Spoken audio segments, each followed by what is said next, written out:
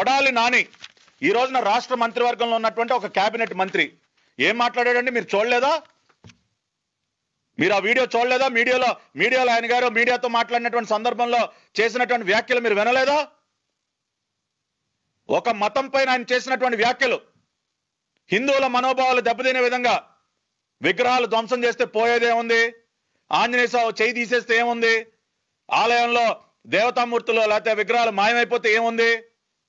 మేడల మెద్దలు కట్టుకుంటామా? విగ్రహమే కదా అని చెప్పి ఒక మతాన్ని అనుసరించేటటువంటి వారి మనోభావాలు దెబ్బతినే విధంగా కొడాలి నాని మీడియా ముందుకు వచ్చి మాట్లాడితే మీరు ఏం చర్యలు తీసుకున్నారు? సెక్షన్లు చదివి వినిపించినా? మీరు ఏ ఏ సెక్షన్ల ప్రకారం కొడాలి నాని గారి పైన చర్యలు తీసుకోవచ్చో మీకు చదివి వినిపిస్తా. వాళ్ళ ప్రజలకు కూడా తెలియాలి. Section one fifty three A the act of promoting enmity between different groups on grounds of religion race place of birth, residence, re residence, caste, etc. Acts prejudicial to the maintenance of harmony between different religions. Section 153A. Section 295. The accused do not, must do such an act with the intention of insulting the religion of any person. Section 295. Section 295A.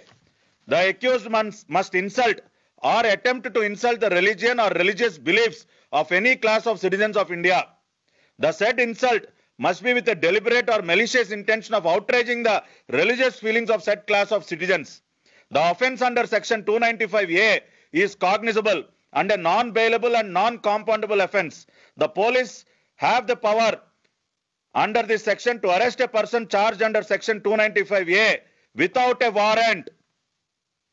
ఏంటి sir మరి ఇన్ని సెక్షన్ల ఆధారంగా section two ninety five A section one fifty three A section two ninety five చదివి వినిపిస్తున్నాం మీకు DGP గారు.